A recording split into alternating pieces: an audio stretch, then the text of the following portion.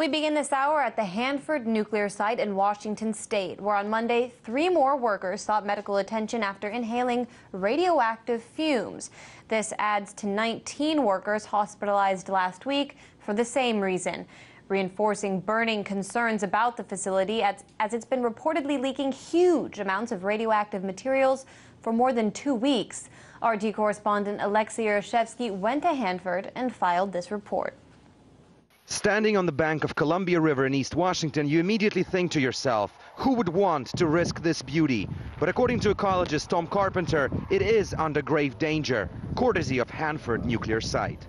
Hanford created uh, the largest inventory of high-level nuclear waste in the nation.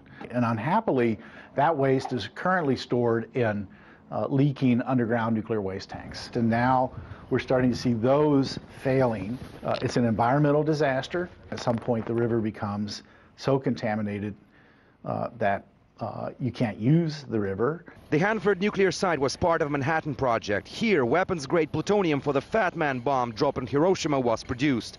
Decommissioned after the end of Cold War, the facility has been used for nuclear waste storage. Two-thirds of America's radioactive materials are stored here, making it one of the biggest of its kind in the world. That's 56 million gallons of highly radioactive chemicals stored in tanks, some of which were put in place over four decades ago. The oldest tanks were built in the 1940s, 1950s. they, they were not supposed to last more than 10 to 20 years. 20 years was a dream in the first place. And as you know, some of them didn't last 20 years. And we had a small explosion in the 1950s. The hot waste boiled, created a steam explosion under the tank. Um, and we were lucky that we didn't have half of eastern Washington having to be permanently evacuated. And for more than two weeks now, several of these have reportedly been leaking. The company operating the Hanford tank farm told us in a statement that they did acknowledge higher levels of radiation inside at some point since um, April 19th, but they still told us that there was nothing to worry about. There was no imminent threat to the public. But here's the thing, we're standing right outside uh, the facility and we have a little Geiger counter with us. And let's just measure a simple rock laying on the sidewalk how much radiation it may have. So it starts with the usual levels of radiation, but as soon as you're trying to scan it, it immediately goes up. Well, this is technically not a level of, you know, danger for human health, but it's still higher, three or four times higher than the normal level of radiation. It's really hard to imagine what levels of radiation could be inside these walls instruments they have deployed there show high radiation levels, plutonium, cesium, strontium-90, et cetera.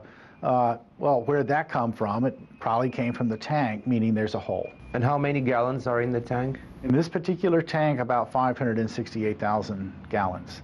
It is by far not the first accident at Hanford. 1962 criticality accident, 2014 pipe explosion. Add that to constant leakages of materials into the soil and the atmosphere. U.S. government spends $2 billion a year for the cleanup and even commissioned a vitrification plant back in 2000 to relocate the waste into newer, safer tanks. But this multi-billion project is still years behind schedule and in fact creates a money trail problem, effectively blocking a political solution, according to the state representative. There are a lot of people at the Hanford Contractors and Energy who are carryovers from 15 years ago when the Energy Department's mantra was still leaking tanks are not an environmental or health threat.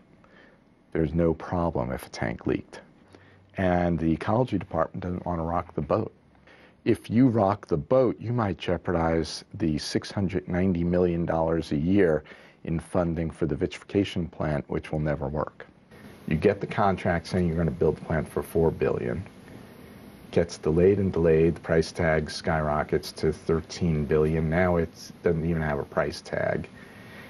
And you keep making money and will instead of it being done and turning it over in 2011, then 2021, you're now going to keep making money, an endless stream of money, through the year 2035. Ecologists say the situation can always get worse. They hate to think what would happen in case of even a minor earthquake in a geologically unstable area that is. But even in the current state of things, with tanks leaking nuclear poison into the environment, Hanford is already way past the ticking time bomb stage. Alexey Yaroshevsky, RT, reporting from Washington State.